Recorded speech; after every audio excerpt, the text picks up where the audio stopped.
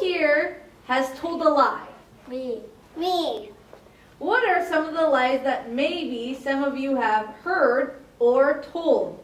Maybe you lied about mistreating your brother or sister, lied about playing a game fairly, or didn't tell your parents the truth.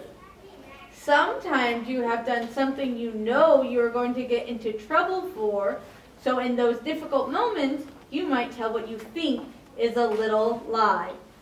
Honestly, there is no such thing as a little lie. A lie is a lie.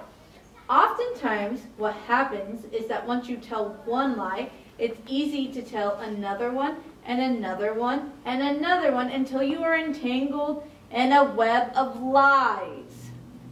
Let's read Hebrews chapter 12, verse 1.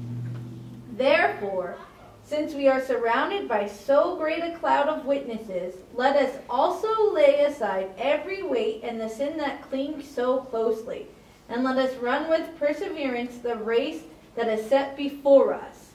This verse tells us to become entangled from sin. Lying is a sin.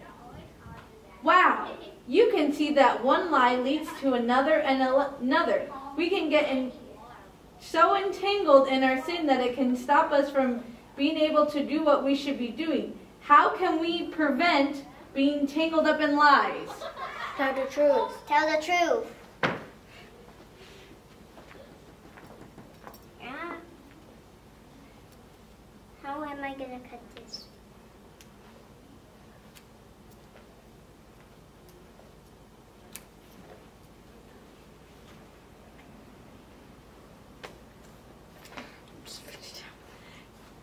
That's right. We always tell the truth.